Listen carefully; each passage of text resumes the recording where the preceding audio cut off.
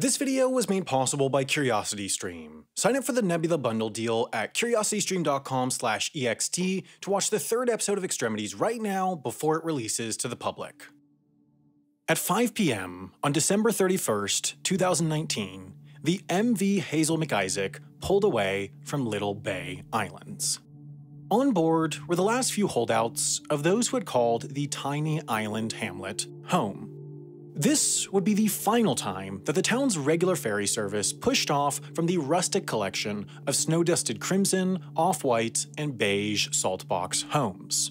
As it exited the protected harbor, the permanent population of Little Bay Islands plummeted from 54 to just 2. For those on board, and the two still standing on shore, the weight of the moment hung heavy in the air. Mike Parsons, who along with his wife Georgina decided to stay, said of the final days that a quote, palpable sadness had enveloped the islands. Although an all but inevitable conclusion, leaving hurt. Because there's nowhere, uh, there's nothing else there, you know, that but uh, the still people got uh, for the love of the land where they're born on. I mean, you know, it is. As the ferry cut through the low-hanging fog and faded away in the evening's dying light, and as the 2010s faded from present to past, a tiny town on a couple tiny islands closed a chapter of its story that had begun some 200 years prior. What was once a boomtown gone bust was now all but a ghost town.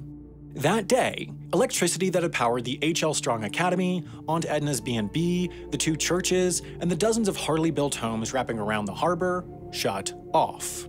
Unopposed by streetlights and the hum of habitation, night and its accompanying quiet settled over the town of Two, and Little Bay Islands became the eighth remote community in Newfoundland and Labrador this century to permanently relocate.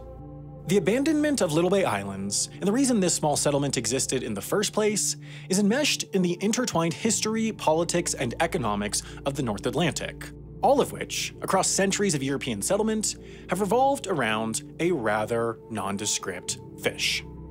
By the 2010s, Little Bay Islands, a name left plural to acknowledge the community straddling of both Little Bay and Mac Islands, was on its last leg, at its height, more than 500 called this small but bustling town nestled between the lush forest and rocky coast home. What brought people to Little Bay Islands and the coast of Newfoundland had little to do with what was on land, but rather what swam in the surrounding waters. But the reason why settlers, predominantly from Europe, came to Newfoundland and Labrador and populated the outports was because of the proximity to this, this lush resource of wild fish. And that continues to be the case. Beginning with the Paleo Eskimo peoples arriving around 1000 BCE, then followed by the Little Passage peoples 2000 years later, indigenous hunter gatherer societies were the first to recognize the wealth of Newfoundland's teeming coasts. Not long after the Little Passage peoples had arrived, though, these waters became a bit busier.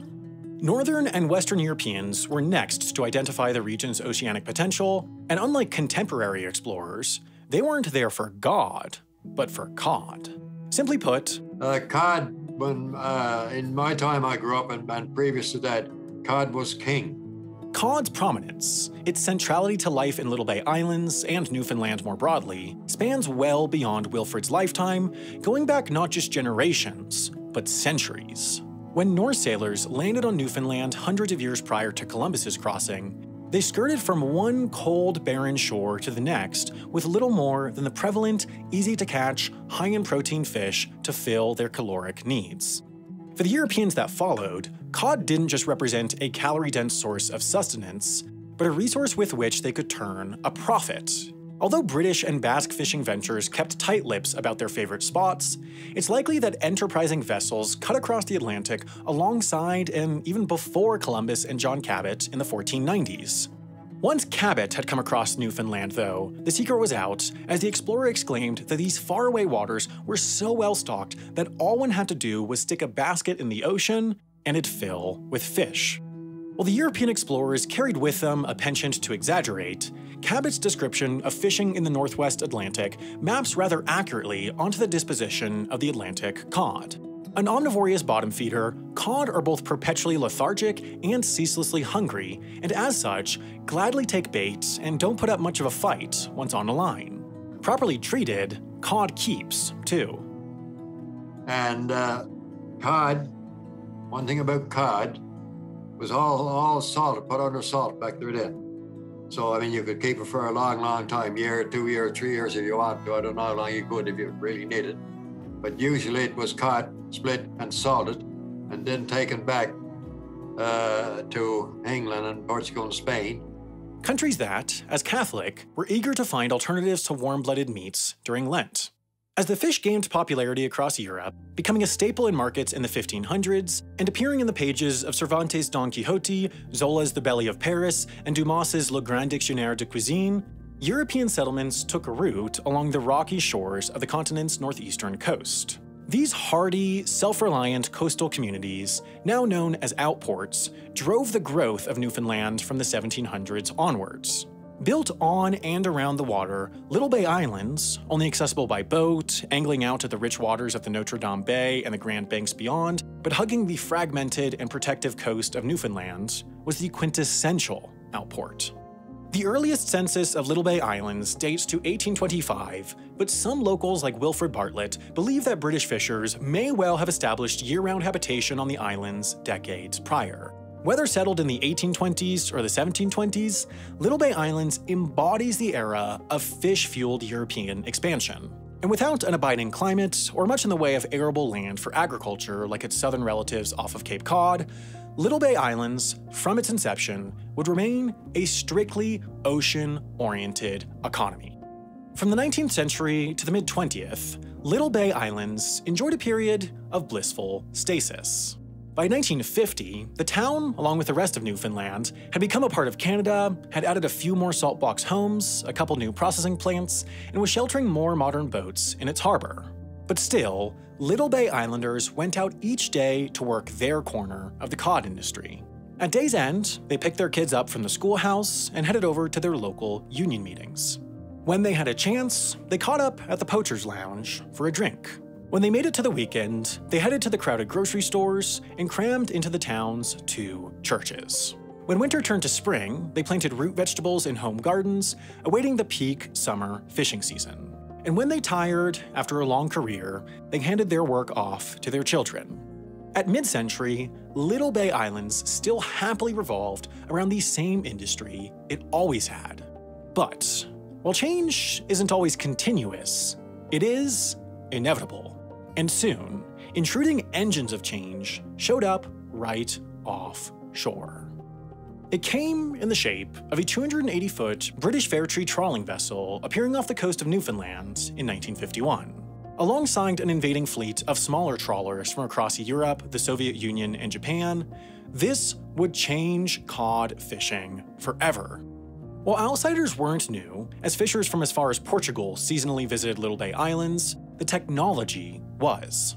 Uh, then uh, all of a sudden, the draggers got involved where you could drop a net over the stern of a boat or over the side for side trawlers and go out and drag the bottom over, and whatever is in front of that net certainly comes up. There's nothing left.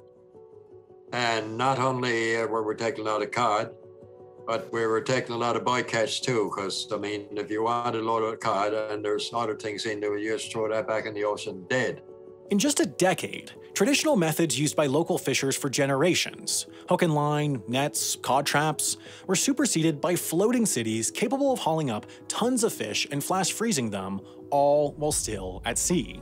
At the same time that massive ships consolidated the fishing industry, politicians sought to consolidate Canada's coastal population.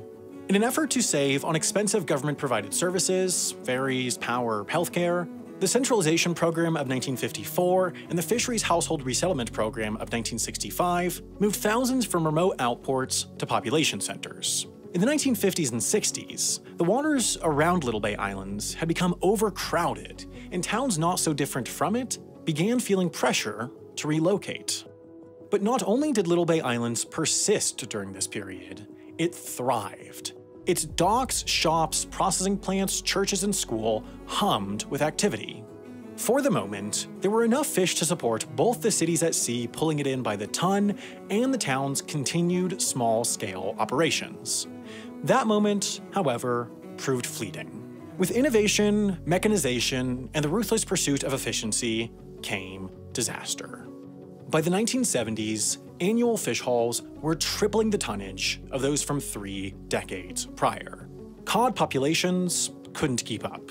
With collapse on the horizon, Canadian officials took action, turning back foreign vessels and placing quotas on the fish. But it was far too little, far too late. By 1990, in some spots, one could hardly find the fish at all. Because I fished up Labrador Coast, 500 miles north from where I lived, and they had a moratorium up there for two years, couldn't get a cod to eat. But, you know, there's, uh, like I said, nobody listened. In 1992, the Canadian government banned nearly all cod fishing. The moratorium aimed to revive the stock over the course of a few years. Today, nearly 30 years later, the moratorium is still in place. The collapse of the cod industry put Little Bay Islands in an impossible position. The town was, the town is in many ways, a picture perfect fishing community. Little Bay Islands is one of the most beautiful communities around. It's uh, it's a, a beautiful harbor there. In fact, there's two inlets there. You can get small boat one end and big boats through the other. It was an island off, off a harbor, that's what it is. And there's no odds how bad the weather gets, there's still shelter. And I guess that's one of the reasons why it's not a very big island. People had to go off the island uh, and get enough wood to keep their stoves going and for shipbuilding, that kind of thing, because uh, according to islands out there, it wasn't, it was a small island. But it was located to the fishing grounds, so that was the main thing. Now, though, the most important fish was gone. As an industry, fishing didn't line the pockets of Little Bay Islanders, it didn't create massive financial wealth, but it did support a unique way of life. It nurtured the small town camaraderie that only blooms after decades of waiting together in the same lines, singing the same hymns, and drinking the same draft beers. It furthered family bonds as mothers and fathers taught their trades to daughters and sons. As the rest of the world moved towards urban centers, Little Bay Islands offered an alternative path for those enchanted by a rural, rugged lifestyle deeply entangled with the surrounding landscape. Fishing made it possible, and Little Bay Islands had stayed loyal. The town had no backup plan, no alternative industry to pick up the slack should something go awry. Here, cod was king, and now, cod was dead. While fishing stayed a consistent economic driver for centuries, the actual day to day practice has proved dynamic, requiring flexibility and at times mobility. So, resettlement is as much a part of outport life in the province of Newfoundland Labrador as the fishing that, that brought people there in the first place. Some, the earliest seasonal fishing parties and later families relocating in search of better home bases, moved by choice. Others, indigenous peoples and outport communities deemed too far from urban hubs, were pushed or forced to relocate. While Little Bay Islands had dodged resettlement by choice or force for well over a century, by the late 90s, it was becoming difficult to ignore the creeping thought that their time to pull up stakes was quickly arriving.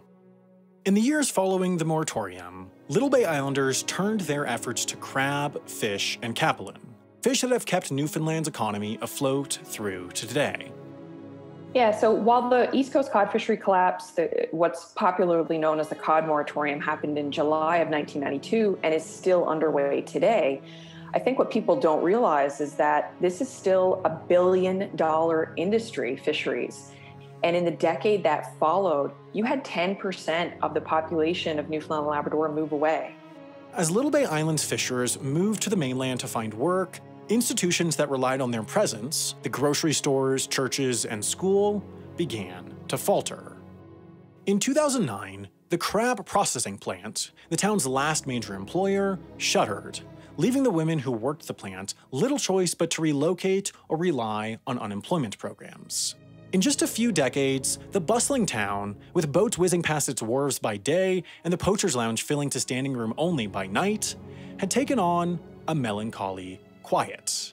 As families peeled out of town one by one, the murmurs of whole scale resettlement gained momentum. In Newfoundland and Labrador, The term resettlement is a loaded one.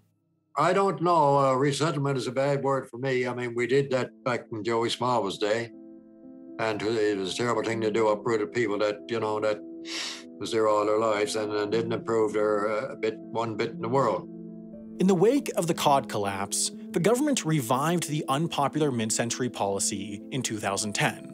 This time around, the resettlement program offered a proportionally larger payout, prohibited the provincial government from initiating the process, and, if viable, required the community to approve the decision by a 90% vote. Still, more amenable terms aside, such a move was bound to hurt. But I think the reason why it really strikes an emotional chord in Newfoundland and Labrador is because it feels like the death of this way of life. And so, you know, I felt that even when we sold my grandfather's home in Little Bay East on the southern shores of Newfoundland and Labrador, you know, here I had this physical link to a community that my ancestry was tied up in for hundreds of years. And then you know for that to be gone and to not be able to have that physical link to a place that i remember growing up and you know going with my father to his childhood home and beach combing along the beach and being able to go out in dory with my my family members you know to have that access pulled is more than you know let's do something different next year's summer vacation it's it's this connection to place and culture and heritage and tradition. And so I think that's difficult for people. Opportunity created Little Bay Islands. When opportunity died, the town was bound to soon follow. As the Grand Banks clogged with oversized trawlers and fishing transformed from a timeless profession to one with an expiration date, Outport youth began to look west for opportunity. Often this is what is happening. There's no jobs. One time, and the fisher's gone to go, why, even summertime when you're out of school, you got a job at a fish plant, working in the fish plant, or you went in the boat with your father, or went down on the wharf cutting out tongues, you made a living. But now there's nothing from to do. Come out of school, there's no, very few places to pick up a job in Newfoundland and Labrador today. In many cases, their own families urged them to move on. Absolutely. I mean, my grandfather was the last fisherman in our family, and that wasn't by accident, that was by design. You know, my grandfather and my grandmother wanted to make sure that their four boys had an education, and certainly Newfoundlanders and Labradorians are all educated, whether that's on the land and sea or in a classroom. But they very much wanted their four boys to receive a classroom education and to go on and have careers that allowed them to leave the outports. As the hope that the fishery would soon recover faded, Little Bay Island's families and youth made their way to the mainland, leaving behind an aging population deeply tied to the landscape, but unmoored from economic opportunities and far from medical services. With the processing plant shuttered, the school empty, the local bar dry, the fire department closed, and the town doctor long gone, Little Bay Islands in 2015 was a shell of its former self.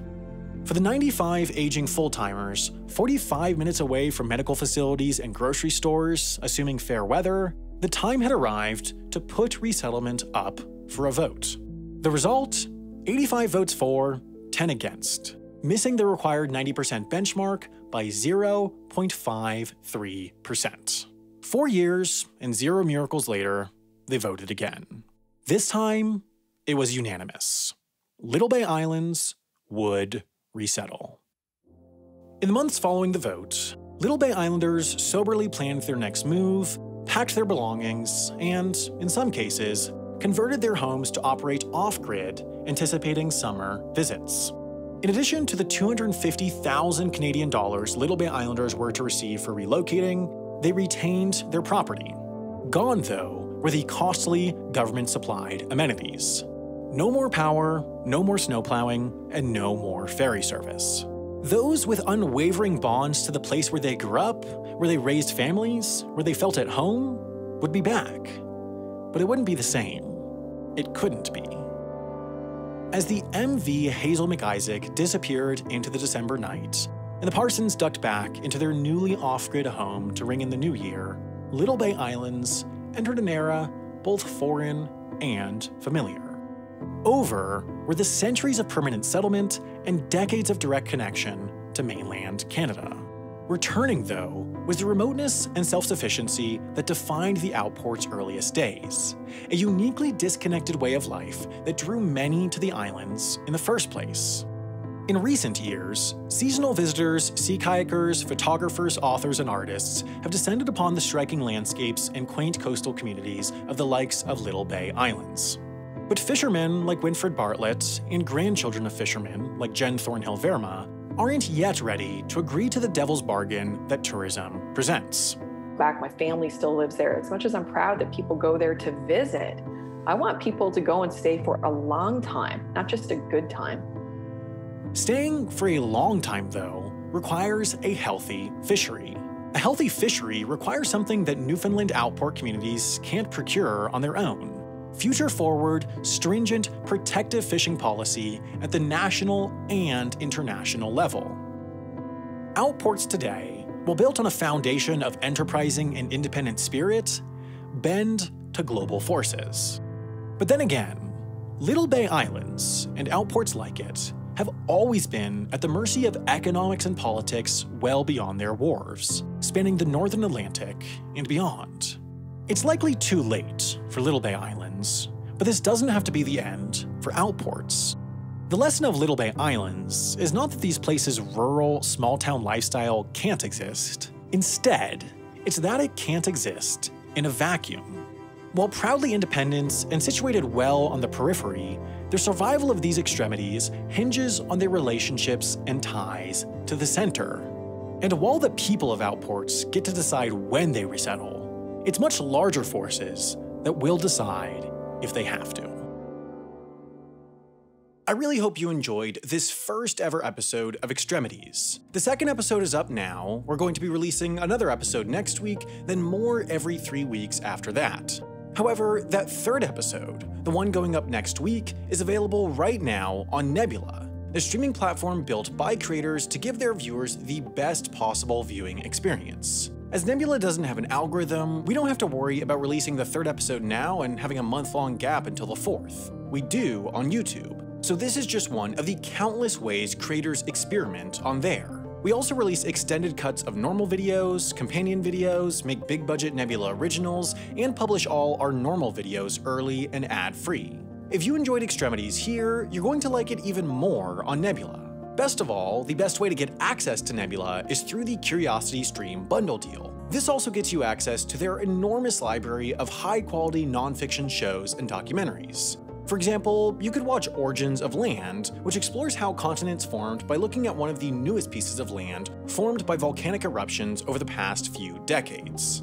Altogether, Curiosity Stream and Nebula is an unbeatable pair for any Extremities viewer, and it comes at an unbelievable price, just $14.79 a year at current sale pricing for both combined. Best of all, signing up at curiositystream.com/ext helps support Extremities and all these other independent creators, and your support will never be more needed than now as we launch this channel to make sure it's something sustainable that we can continue long into the future.